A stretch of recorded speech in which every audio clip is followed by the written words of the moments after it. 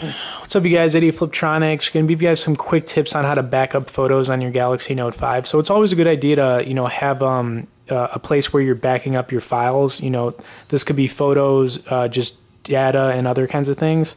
So the first thing you can do on your Note 5 is uh, you can create a Dropbox account. See, Dropbox um, comes pre-installed, and there's another good pre-installed app on here that you can use as well. honestly, not even sure where it is right now, um, but it's somewhere on here.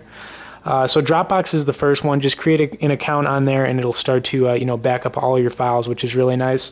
Another one you can use is Google Drive. I know I've got Google Drive somewhere on here. I think in a folder, but Google Drive's um, similar in a way that it uh, pretty much backs everything up for you. There it is, Google Drive. Um, Google Drive uh, is um, accessible um, through the internet as well, so you can uh, log in there to check out stuff on a PC. And the last one I was going to recommend is Google Photos. That's another one where you can, uh, you know, just manu- um, automatically upload uh, any images or photos you take on your Note 5, which is really awesome. Um, and then another thing you could do, obviously, is every time you plug your uh, Note 5 into your PC, just create a folder, and then um, it'll, you know, automatically download everything on from your Note 5 onto, you know, that folder as far as uh, data and other images.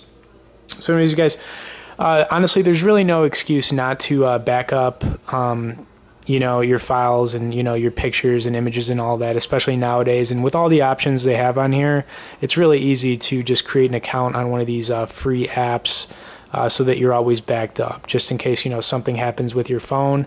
You can really never plan for it, but it's always a good idea, especially with all the images we take nowadays and um, that we, uh, you know, make sure to back them up. Anyways, you guys, thanks for watching this video. Stay tuned for more and be sure to subscribe to our channel.